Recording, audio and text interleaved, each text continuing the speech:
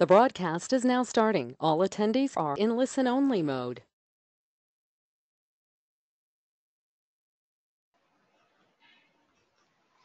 All right, good morning, everyone. Uh, so we're just going to give this just uh, just about three more minutes before we officially get started here. But thank you.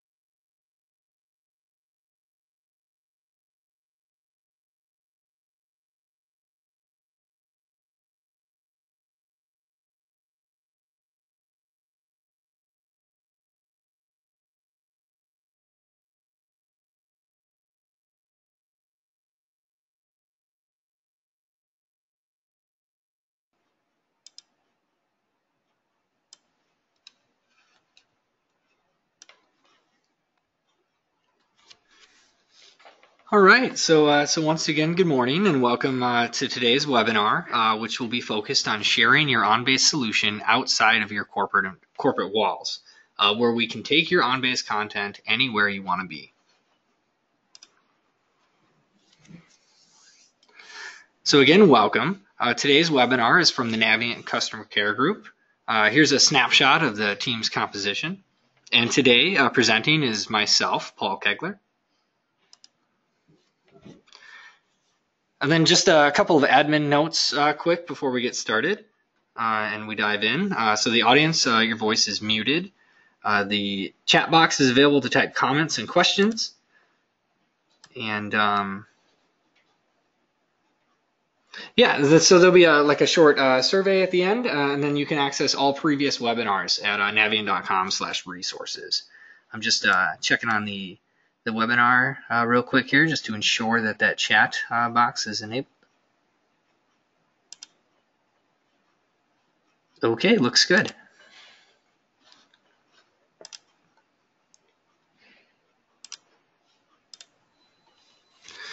Okay, so today uh, we're going to be covering uh, some of the platforms and accessibility overview, uh, the key benefits of, of ShareBase, uh, public access viewer, uh, the benefits of incorporating a web server in your environment, uh, and the benefits of uh, OnBase Mobile, and then really kind of diving into OnBase Mobile and what that looks like uh, for you know for you yourself or your end users, um, and then some of that architecture and security uh, associated with OnBase Mobile as well. So there, there are several ways to securely break out of your corporate walls and begin in, um, interacting with your crucial business data. So in a manner that, that meets today's demanding and ever-changing uh, business landscape. So ShareBase by Hyland is an enterprise cloud-based file sharing product and an ideal extension to your OnBase solution. Uh, this allows unlimited sharing of files both inside and outside your organization while maintaining ownership and control of the entire process at the corporate level. For our government attendees, there's Public Access Viewer, which streamlines the administrative processes by offering citizens secure web-based access to public records stored in OnBase.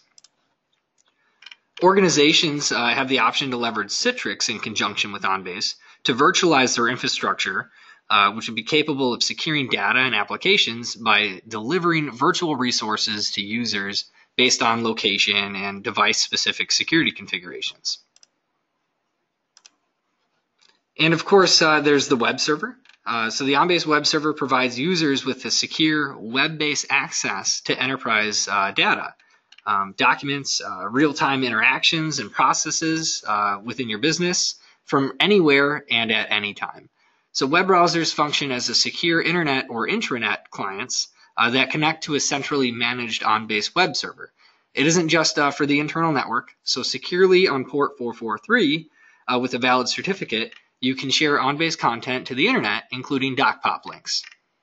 And so for OnBase mobile users, uh, there's no need to direct your users to so, you know some other store to download the mobile application. Each platform has its own you know mobile app store. And so with iOS devices, iPhones and iPads, uh, they can access the OnBase mobile apps uh, right from the Apple Store. Uh, same goes for Android uh, devices, your phones and tablets, get it right from Google Play. And the same is for the, uh, the Windows Store as well. And so really any of these uh, accessibility modules that I just touched on briefly could, you know, could be a webinar in and of themselves. So for today, I'll be looking at the key benefits of each and then going more in depth on mobile. So as I mentioned earlier, uh, you can extend your OnBase solution with ShareBase, which allows you to share content managed in OnBase with individuals both inside and outside your organization. So with ShareBase, you can retain control of your documents. Uh, ShareBase uses corporate email addresses to create user accounts, ensuring uh, your organization retains ownership of any shared information. Administrators can also tightly control who uses the product and determine which users uh, have the ability to share externally. So when users manually share documents, they can assign rights and permissions at the folder level or even all the way down to the individual document. So when users leave your organization or change roles, um, rights can easily be revoked by your admins or transferred, which mitigates the risk of unauthorized access and ensures continuity during transition of personnel. ShareBase also provides an audit trail, uh, allowing you to see exactly what content is being shared and accessed by whom. So the two key features or main points of ShareBase is the sending and receiving. So with sending, you can automatically share OnBase content with external contributors and, and reviewers uh, with appropriate permissions. Uh, so in conjunction with a, with a workflow process you already use today, you can seamlessly extend that content outside of your organization, providing external access to individual documents or a complete folder of documents. And then you can monitor uh, who views or the activity surrounding the documents uh, or the folder uh, within ShareBase. And so on the, the flip side of that is receiving. So ShareBase allows you to capture content from those uh, outside of your organization uh, so they no longer, you know, have to involve, you know, emailing in or USBs or SFTPs or physical mail. Uh, external contributors can add content to a designated ShareBase folder, and OnBase can be configured to monitor that folder, automatically ingesting new content directly into an OnBase process. So ShareBase makes it simple and intuitive for all contributors to upload content from a desktop or mobile device using the web browser. And the ShareBase app can be downloaded uh, from your device's app store as well, allowing you to, to uh, really just, you know, take your content anywhere. And so quickly, I wanted to show you uh, what this can look like. Oops. We'll go back and I'll go back to my little video there. Here we go. And there. All right, so I wanted to show you what this can look like, um, you know, within uh, the web version here. Uh, so this is uh, this is how you know our team uh, at the customer care group uh, leverages ShareBase. You know we can we can share out those install files right to those customers. Um, you can see you know we click on this icon and we can create a new folder, and then so you have the ability to sort in here you know by name or date, um, and so we can just navigate to that May webinar folder we just created. And so there's a real simple drag and drop functionality as far as adding documents to this ShareBase location. So now we can see that that document's there. And so let's go ahead and share that content. Um, so we can choose uh, the, the rights uh, that this link is going to grant access to, whether it be upload only or download only or both. Uh, we can set an expiration date for that link. Um, and then you also have the ability to add some additional security uh, to these links that you're sharing as well, whether to email a secure password or just to, you know, set up your own password. And then, of course, uh, you have the option to email that link out. So to that identified personnel. So let's just, uh, you know, I just made this myself. So once we go ahead and we actually um, create that link, so that link's been created. And if we select uh, view links, we can get into some of that admin that I mentioned. Uh, you have the ability to see all the users that this link has been shared with. Uh, you know, the ability to copy that uh, that link uh, back to your clipboard for easy access. And then, of course, you know, the, you know, the ability to, to kind of re-email that out or address more people that you want to share that link with.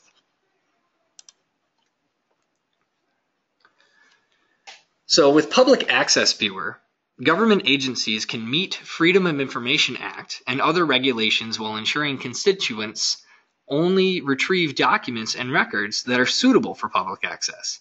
Providing convenient self-service capabilities, organizations can significantly reduce time handling uh, requests for information uh, to include court orders or zoning applications and permits. And so here's an example of what a configured public access viewer can look like.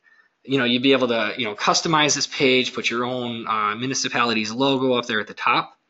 Uh, here we can see one of the documents uh, set to be shared to the public, and we can select on it. And so your your citizens, you know, for those publicly, uh, you know, access available documents, be able to go in here, search by document type, you know, put in you know, those search parameters. So let's just make this one pretty broad so we get a pretty big uh, res uh, result in the hit list here.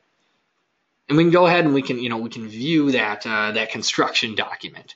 You know, so very convenient to make all of those, you know, required documents that may need to be shared uh, with the public uh, available and out there. So we have several customers uh, that are leveraging this and quite successfully.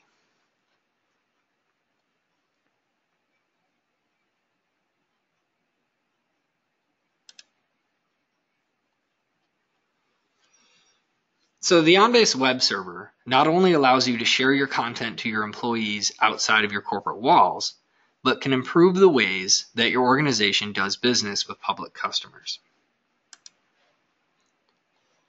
So some of the benefits of a web server uh, include uh, remote and public access for consumers, remote employees, and business partners via standard internet browsers. The web server also allows, allows for um, centralized administration so server, which is server based as opposed to client based, meaning that an organization can leverage a web server within their intranet to host OnBase access for their employees. And then when it comes time for an upgrade, you would only need to upgrade the web server and all of the users that connect to the server via their browsers will just adjust accordingly. The web server also allows for customization because uh, there's uh, support uh, built in for those standard development technologies and of course, there's that ease of access because you know we're we're leveraging those browsers that your your end users are already familiar with. And uh, it also allows for some personalization with some easily accomplished point and click uh, configurable interfaces. So some of the key features of a web server is the deployment flexibility. So with a scalable architecture and, and two client versions available, a, a feature-rich um, ActiveX client uh, for Windows Internet Explorer, and a cross-browser zero footprint HTML client as well. Um, so with web server, you can leverage uh, DocPop, FolderPop, PDFPop, FormPop.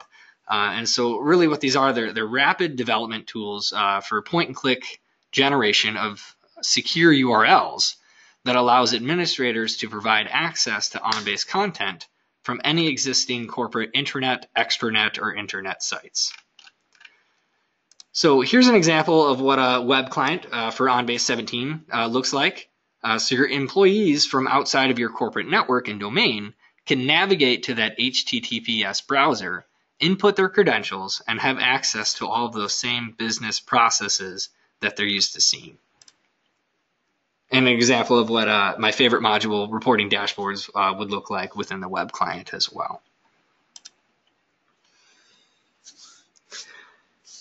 All right, so let's get into the benefits of mobile and, and to really the, the meat of this webinar here where we're going to dive into mobile.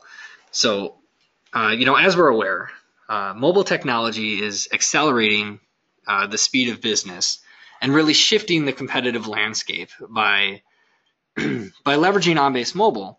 You can transform your existing solution and open the doors to new and exciting possibilities. Uh, you can provide your employees with easy access to OnBase documents and processes at their convenience, whether they're in the office or on the go. So mobile devices have really become uh, ubiquitous over the past few years. The bring your own device trend is one catalyst for this growth. Employees are clamoring to connect their smartphones and tablets to the corporate network so they can access email, documents, and other corporate information while on the go. So with incorporating OnBase Mobile into your solution, uh, this easily allows you to decrease overall processing time while increasing productivity by keeping OnBase at the decision maker's fingertips. So you can make your content available to the people who need it wherever they are, even offline, from almost any device or application. So let's highlight some of the key functionality of integrating your OnBase solution with mobile.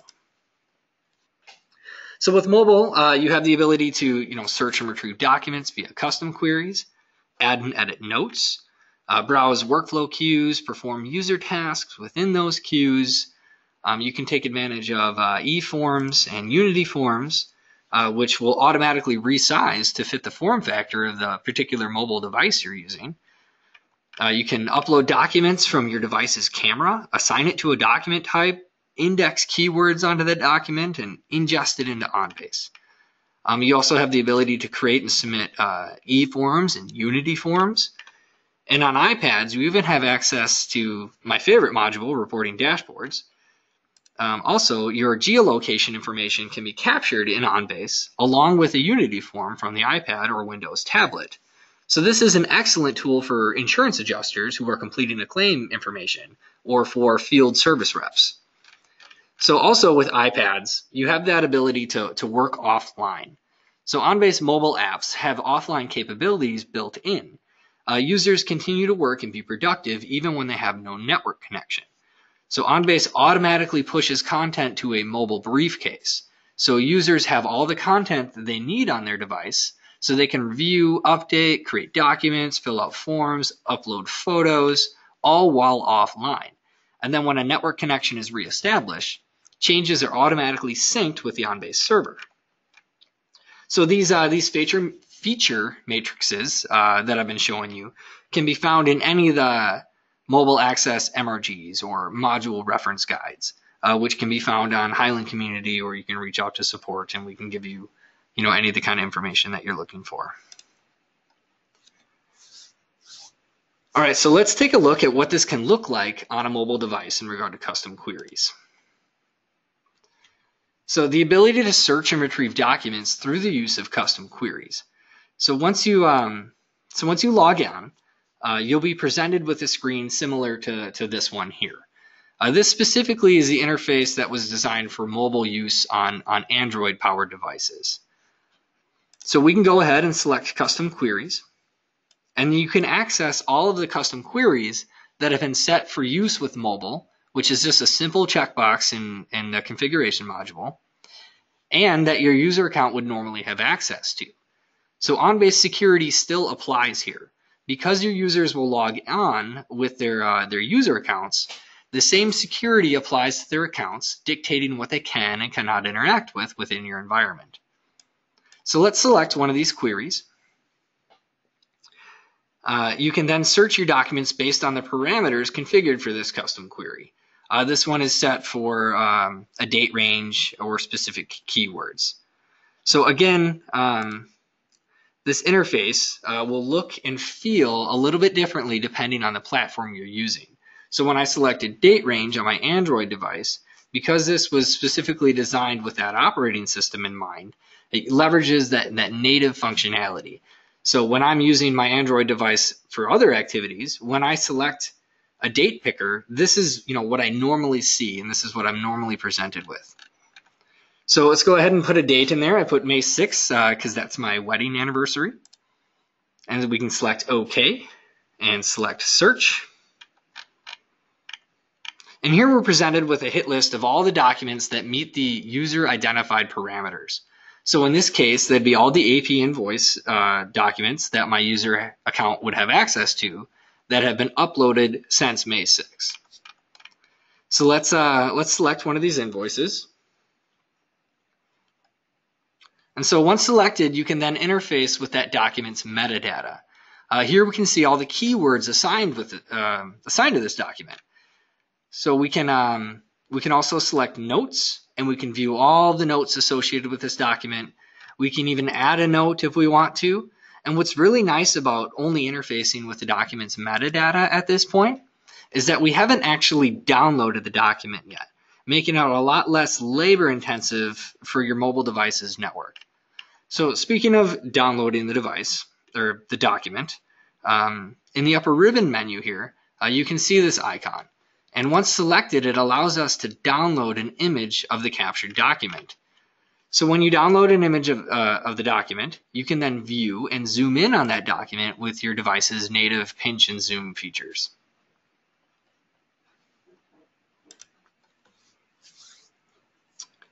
So you know, as as we're really all aware, especially you know those of us that that leverage workflow, you know, workflow is what drives your business process. So it really makes it vital to have OnBase at your fingertips. So when an item hits a manager or executive's queue, they are notified that something requires their attention, and they're able to take action on that item conveniently right from their mobile device. All right, so let's take a look at uh, workflow. So, um, so we can go ahead and just select workflow. And so now we're presented with all the workflow queues that my user account has access to. Uh, we can go ahead and expand out this first queue here because it looks like I have 13 items that need my attention. And so we can just start at the top and select this first item in the queue. And just like before, uh, we're able to interact with that item's metadata. Uh, we could, you know, we could view those notes, uh, but we can also select uh, related items to view any other documents that are associated with this item. So here, uh, you know, we could be viewing, you know, receipts for an expense reimbursement to make sure they've been included uh, with that, uh, and so on. And at the top again, uh, we have that same icon that we now know is what we can use to download an image of, of the captured item. But now there's that new icon up there, that, that clipboard with some checkboxes there. And so when we select that, um, we're then presented with all of the ad hoc tasks that I would normally have access to uh, within that queue. So those actions that I'm going to be taking on those items in my workflow queue, I you know I get a notification on my phone. I get in there, I check it out, and so you know right from the golf course, you can manage any of the items within your workflow queue. You know, approve PTS uh, PTO requests, uh, supply requests, uh, sign off on a time-sensitive purchase order, or any of the other numerous ways that your organization is currently leveraging workflow. So the same ease of access applies to creating e-forms or Unity forms that once submitted will go right into your solution. So most organizations have these forms as a, as a trigger document that would initiate a workflow process or other business process, such as a PTO request or expense reimbursement or a, or a claims form uh, from a field representative. And so let's go ahead and take a look at what that would look like uh, on mobile just real quick. Um, so we can select new form. Um, so uh, you're, you know, you'll be presented, you know, with all the the Unity forms or e-forms that your user account would normally have access to, and then so we can uh, we can just go ahead and select one of those forms, and then you know you fill out those applicable keyword values, and then just select submit, and as easy as that, you just submitted a, a new Unity form, and it's in your OnBase solution and it, you know if it was tied to a workflow process it just kicked that process off and you did it all right from your phone. So another excellent mobile capability that i wanted to cover today is the ability to upload new documents uh, right from your preferred device. So once we uh, once we select upload you can see that we're now presented with the option to upload an image uh, that's already stored in our device as a new document type within our solution. And then there's this extremely handy feature, the ability to leverage your device's camera to snap a quick photo of a document or receipt and then upload it within your environment. So real quick here, we can select uh, take a photo. And then we snap a quick picture of that document, and we, um, you know, we can assign it to an applicable document type. Uh, so once we select the document type that we want that to be associated with, uh, we're presented with all the keywords assigned to that document type. You know, so then we, you know, we just enter in that the keyword information. So we we index that document, and then we just go ahead and select upload. So then right from your phone, you know, you just you took a picture of your receipt uh, or, or, an invoice, and you assigned it a document type. We indexed uh, those those keywords in there, and then we uploaded it, and now it's in your solution. And so, on kind of the, the same note of, of image capture as far as mobile devices is concerned, um, when you're leveraging iPad, uh, you also have the ability to perform some some image enhancement as well. You know, you can adjust the, the quality, you can rotate the image, edit, crop, adjust color and brightness, and just really, you know, get that to, to where you need it to be, um, especially if your organization is leveraging some sort of optical uh, character recognition uh, software that needs to be able to, to read that document. So what does OnBase Mobile look like, you know, within your network? You know, what is what does that architecture look like? And so Hyland's mobile architecture includes three main components. There's the mobile device, which is running an OnBase mobile application, and then there's the mobile broker server and the application server, which then of course, you know, reaches out and communicates to that database or file server. So in contrast to a desktop application such as the Unity client, all communication uh, from the mobile client is through that mobile broker server. So by utilizing the mobile broker server, we gain the following advantages from a security perspective. So you get that, that network segregation. So the ability to limit exposure to the OnBase core by exposing only the mobile broker server in a less protected network zone, such as a DMZ or demilitarized zone. Um, Mobile Broker Server also allows you to uh, leverage uh, some enhanced authentication, uh, such as the ability to implement, uh, you know, like a more enhanced authentication, such as like a two-factor authentication um, with device registration. Um, there's also some session isolation that's built in here. So the session established with the mobile broker cannot be used for servicing requests directly to the application server. And so um, on that same note, data returned from the application server to the mobile broker is never cached. Uh, so this really limits that risk of, of data loss if the mobile broker were to ever be compromised. And so, um, so you know, I just mentioned that device authentication. And so when you're when you're utilizing device registration uh, for that additional security, um, you're incorporating your Active Directory or your LDAP server for authentication, and an email server to push out the, you know those registration emails that you know we're all familiar with as far as you know getting registered you know on on certain platforms. And so this enables you to leverage two-factor authentication. And so two-factor authentication is, is a method of authenticating an entity by multiple factors.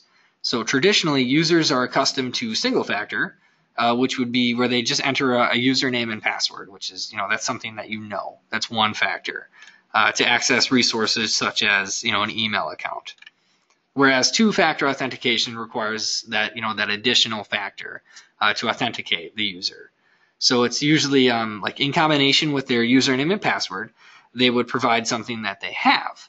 And so in this case, uh, what they have is going to be that device token that is generated during this device registration process.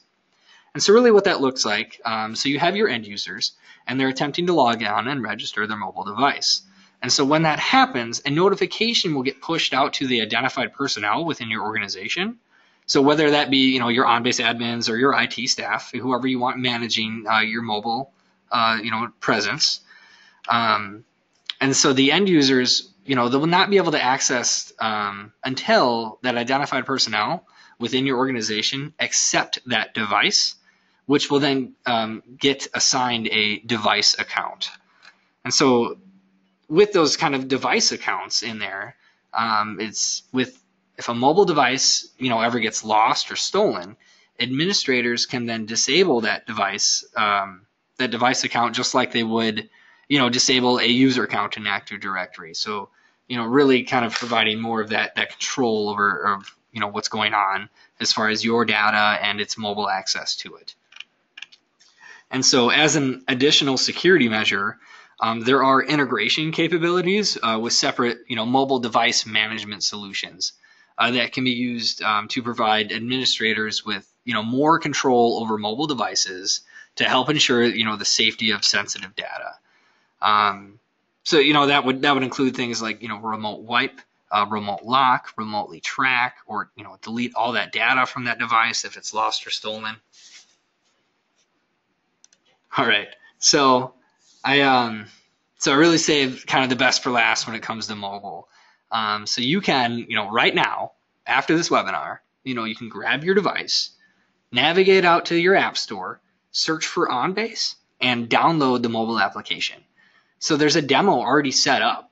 So you can get your hands on this and you can see how it would look and feel on, on you know on your phone, on your tablet, you know, what that could look like. So you simply, you know, you just download the app, and you select the settings, um, no box, it'll be the only box there, and you just configure the client to point at this shown uh, URL here.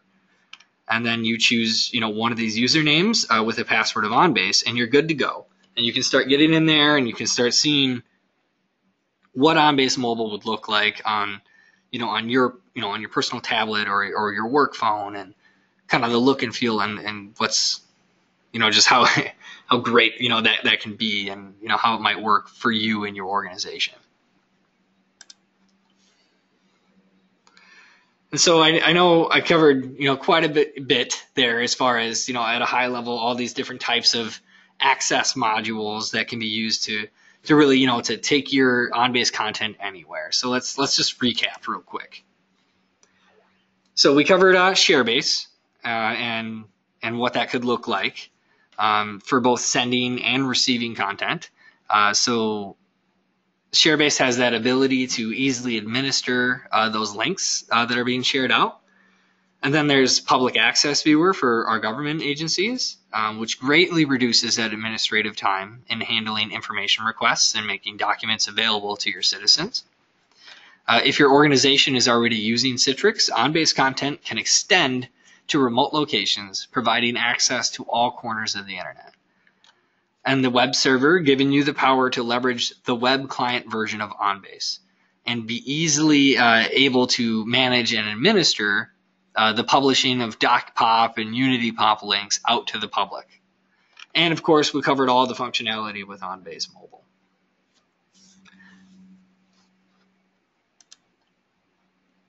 So, uh, that being said, I have the box open here.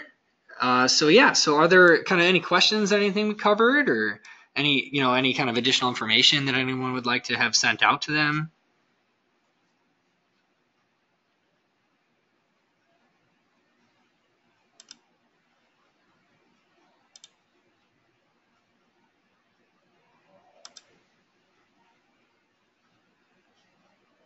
All right. Um, well, of course, you know, if you, if you think of anything, you can always reach out to, to support the support team and myself or, you know, someone else on the team will be able to, you know, get you the information that you need, you know, especially, you know, if, you know, if you need that URL to be able to leverage that OnBase mobile app and, and things of that nature. So on the horizon, uh, OnBase 18, the candidate release is, is here. It's out. Um, so that, you know, that's exciting. Uh, there's, there's definitely some new features there as well and then the updated versions of this uh, these other softwares as well. And so the next uh, customer care group webinar is going to be in July, and the uh, the Naviant Summit this year is uh, October 15th and 16th at the Monona Terrace in Madison.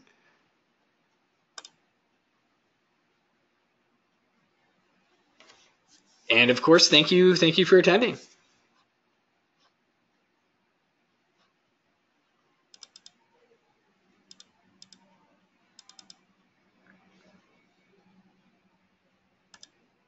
Oh, yeah, of course. All right. Um, yeah, so I have a request to send out some information on uh, the firewall and, and, safety, so I will. I can certainly do that. Is there any other questions before we end today's webinar? All right. So with that, thank you for your time. Thank you, you know, for your, your attendance and everything. And uh, I give you guys another 25 minutes back in your day here. So enjoy the rest of your days.